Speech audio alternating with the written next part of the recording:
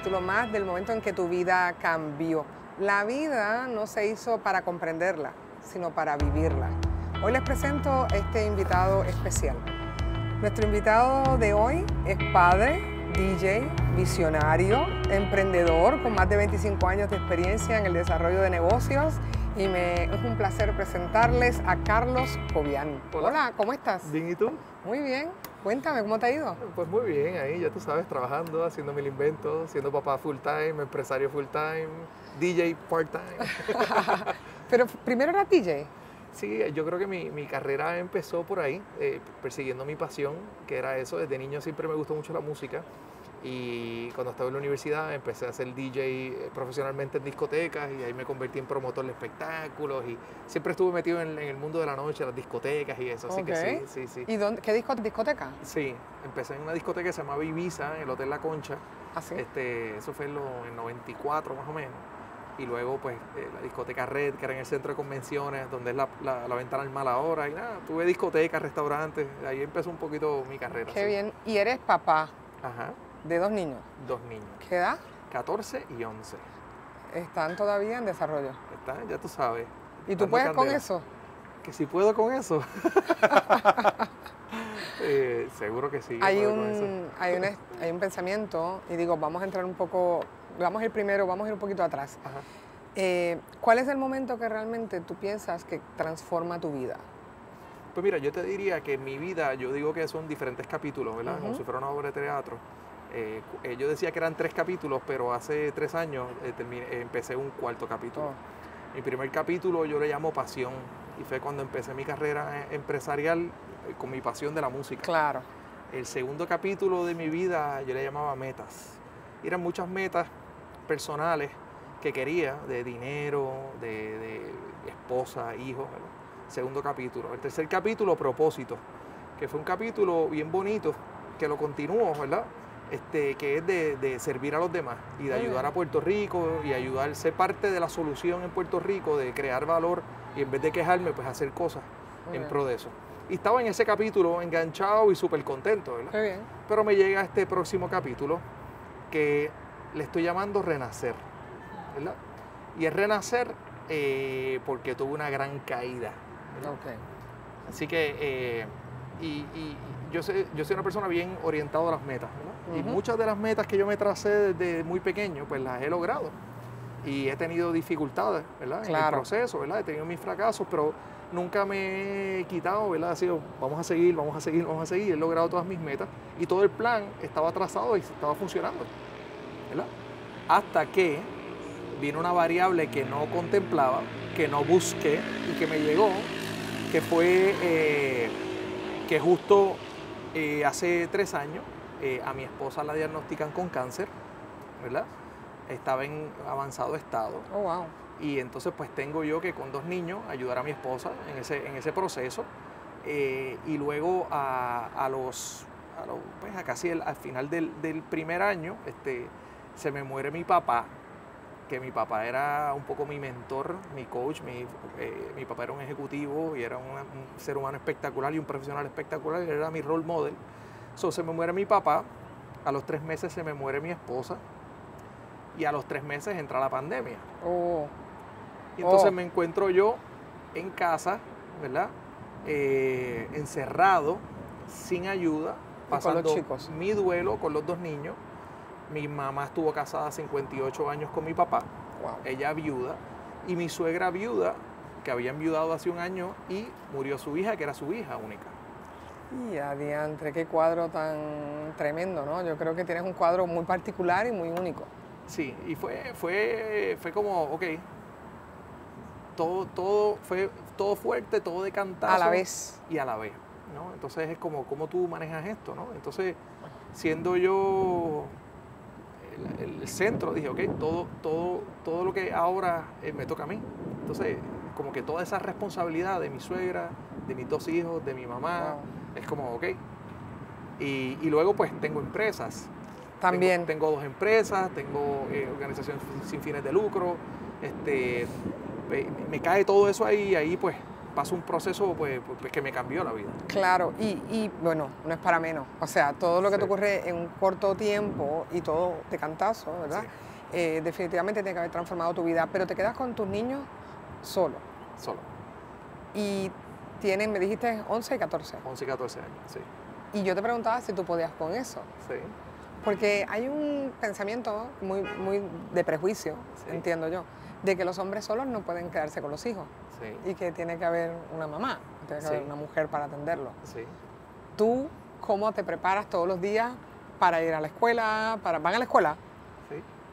Para cocinar, para tienes ayuda, por supuesto. Yo tengo ayuda, que son la gente que me rodea, ¿verdad? Y tengo una señora en casa que me ayuda, pero durante 40 días de la pandemia lo hice todo solo. Y lavé ropa, y lavé baño, y cociné desayuno, almuerzo y comida, y limpié la casa, y bregué con el perro, y bregaba con mi dolor, con el de los niños. O sea que se puede hacer. Y yo creo que también es un poco injusto para las mujeres. Porque al hombre en esta posición le cogen mucha pena, ¿verdad?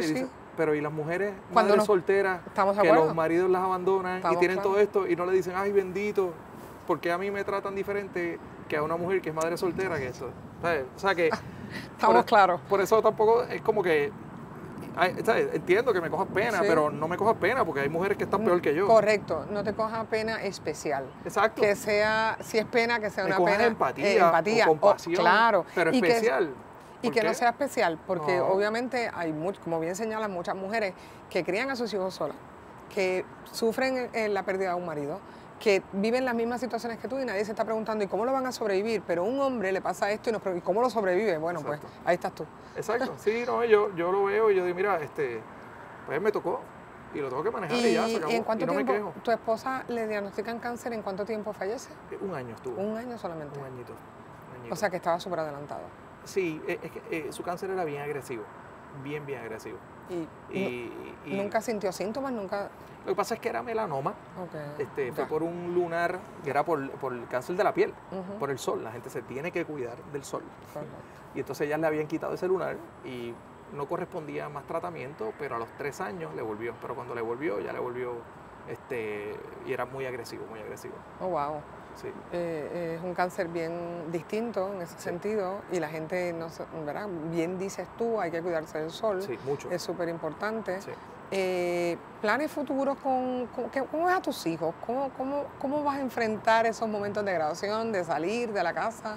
Pues mira, este, esa es una pregunta interesante, ¿verdad? Y ahorita me hiciste un comentario y te, quiero comentar. Yo he tenido eh, en el hogar, el padre y la madre son bien importantes. Eh, y definitivamente el hombre, este, hay unas cualidades que no necesariamente saca a relucir. Este, y yo he tenido que buscarlas y sacarlas a relucir, ¿verdad? como lo que es la compasión, el cariño, la ternura, ¿verdad? Yo a mis niños los sobo, les digo que los quiero, les digo acuéstese conmigo, los acurruco, tratando, pensando que qué haría su mamá ahora mismo. Yo trato de, llenar los dos espacios. De llenarlos. Seguramente llegará un momento en mi vida que, consigo una pareja, ¿verdad? Y a lo mejor este, cuando ellos, yo esté listo y ellos estén listos, pues eh, formaré otro hogar nuevamente, ¿verdad? Yo veo eso como parte de, mi proceso. Pero el momento, pues yo me comunico mucho con ellos. Eh, les he enseñado a ellos a expresar claramente sus sentimientos y yo expreso claramente mis sentimientos todo el tiempo. La comunicación es clave, clave, clave. Este, para mí el foco principal es primero ellos y luego el trabajo y luego lo demás. Eso ha sido un shift eh, significativo, es como que ustedes primero, ¿verdad? Este, y pues mucho cariño, mucho amor, mucha comprensión, pero mucha disciplina también. Claro. Mucha estructura, ¿verdad? Entonces, pues yo puedo ser bien cariñoso contigo, pero no te, voy a pedir, no te voy a dar todo lo que tú me pides. Claro. Tú sabes. So, hay que tener ese perfecto balance entre ser papá, ser mamá, ser, eh, ser bien cool, pero a la misma vez ser bien on cool cuando tienes que ser on cool. Claro.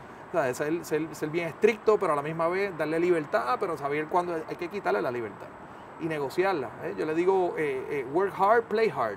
O sea, si tú sacas buenas notas, tú eres bueno, pues vamos a ir, te voy a llevar a los conciertos, te voy a llevar a cosas buenas, pero if you don't work hard, you're not going to play hard, ¿me entiendes? Claro. Así que ese es el proceso y te tengo que decir que mis nenes están súper bien. Qué bueno. Este, están contentos, están saliendo bien en la escuela. Este, mis amistades y la gente que los conoce los ven y dicen ellos están súper bien. Pero yo no les escondo nada. Eh, cuando yo estoy triste, ellos me preguntan, papá, ¿qué te pasa? Pues estoy triste, estoy pensando en mamá. Y ellos vienen y me dan un abrazo. O sea, que expresar esto que, como nos criaron a nosotros, el llorar, eh, eh, eso es de nena, o eso uno, no, no, no, no. O sea, aquí, tú sabes, nosotros tenemos que aprender a expresar nuestros sentimientos y ellos están desarrollando un carácter y una inteligencia emocional importante para poder afrontar este reto y los que le van a visitar en, el futuro. Y, una manera distinta de ver la vida, porque la van a poder mirar eh, como ves, como dices tú, o sea, de la perspectiva femenina y masculina, sin emitir juicio y tratando de, ser empático también. O sea, me parece que tus hijos en, lamentable, la lamentable muerte de su madre han encontrado una experiencia importante, van a ser, yo estoy segura, unos hombres, son varones los dos, eh, distintos, impresionantes y que van a tener una vida eh, al lado de mujeres o de lo que elijan, ¿verdad? Pero eh, con, mucha, con mucha empatía. Y creo que vas a haber criado dos hombres distintos que te lo vamos a agradecer y que el mundo va a agradecer, ¿verdad? Que haya sido un papá tan, especial. Así que gracias por haberme acompañado en la noche de hoy. Y nos vemos en la próxima. Chao.